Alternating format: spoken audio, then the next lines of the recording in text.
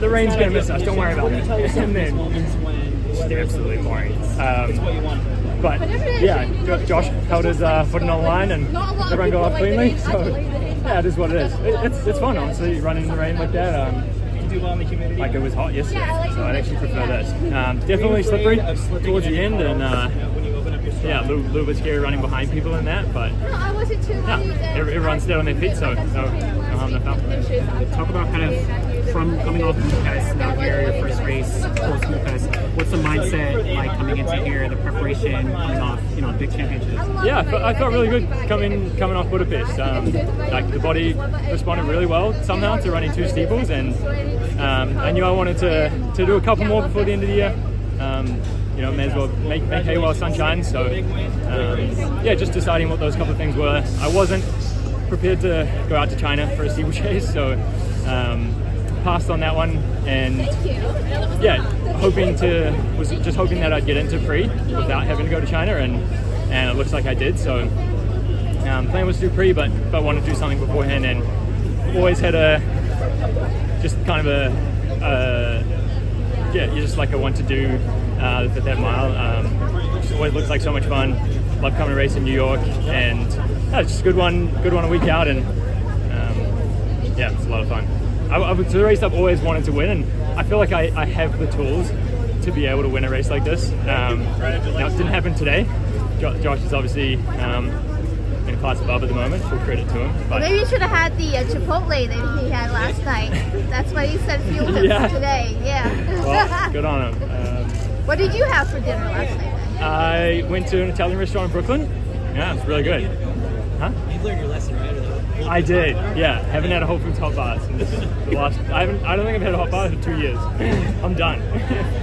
So wait, the only guy in the field jumping back for pre-class? well, that's what I was saying. Uh, Yeah. either on pod- maybe Habz.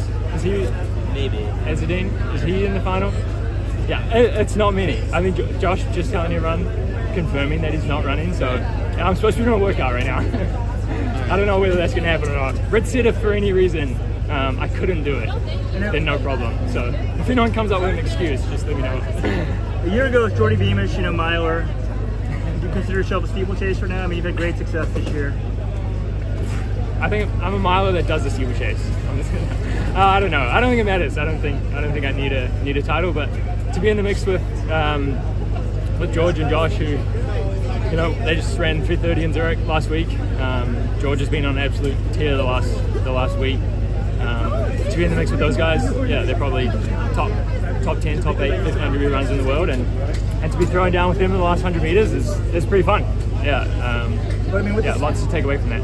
with the steeple, you got to feel there's a lot of still upside, right? I mean, it's so new to you. Yeah, absolutely. I, I enjoyed the steeple chase a lot towards the end of the season. Um, yeah, obviously, like struggled with um, like more the enjoyment of it at the very start.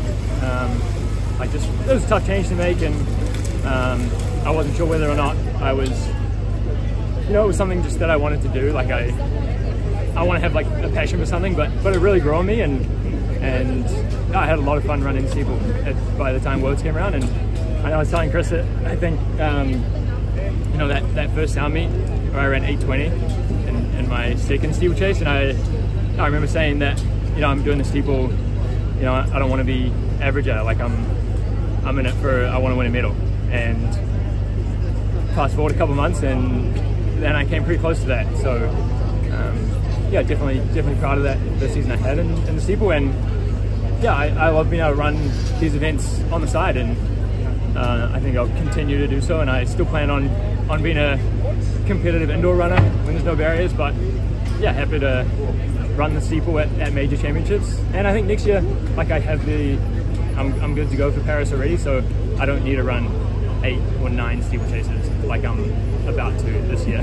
When so I can the- do a bit more of other stuff. You said there's a little doubt. Is that like after like the third one or the which one? I feel like A little bit of doubt. yeah. Yeah, um, I probably just felt after that 820 that there was an easy 10 seconds there. And then I ran 821 again and then a couple of 817s and I just got a bit frustrated um, and I wasn't feeling super comfortable for some reason over it. Um, but then I was, I think running those ones, even though, you know, they weren't they weren't perfect got me into a position to get into Stockholm and Monaco, and I think that was kind of the motivation I needed to to kind of start enjoying it. And then Monaco got rolling a bit, and um, yeah, just started to feel better over the barriers in practice. And um, by the time I got to Worlds, I yeah just couldn't believe how good I felt. What was Dathan telling you? Um, He's, he, you know, he's never done the steeple, so Yeah, yeah, that's a good point. Um, I think just just telling me to stick with it, and, and he's always had like a lot of belief in, in what I can do in the steeple, even from from when I joined the team, and um, I guess he was right. I know Yeah. Pascal sort of helped you at times, but like Yeah, he did. when he wasn't there, is Dathan trying to figure it out and help you? Like, what's the process there? No, it was a pretty it was a pretty solo mission to be honest. Um, Dathan's in steeple workouts, but I mean I do one of them every two or three weeks. Um, just tack on a few 400s at the end of a workout or something. Actually, I think one of the best things I did after I ran, um, maybe after I ran Stockholm, I came back to Boulder in kind of the three weeks a month before I ran Monaco. I, I just went back to running with, with Mario and Yared. Um, and Ollie and, the kind of more 1500 workouts. I was doing everything with with Klecker um, and the long distance guys kind of in the spring, and I think it was just wearing on me. Um, like I can work out with Joe mostly, um, but just was maybe just wasn't enjoying as much and di- didn't come as naturally. And then um, like I don't even know if I ran hurdles between Stockholm and Monaco, but kind of got back to Boulder and, and just started jumping into 1500 kind of more workouts. Like we, I wouldn't say we ever do like and Yared don't do speed workouts necessarily. Like we don't sprint ever, but just on the shorter side of things, and, and that comes a little more naturally to me. And so just enjoying running like fast again, and not like I don't have to think about being a steeplechaser every day of the week.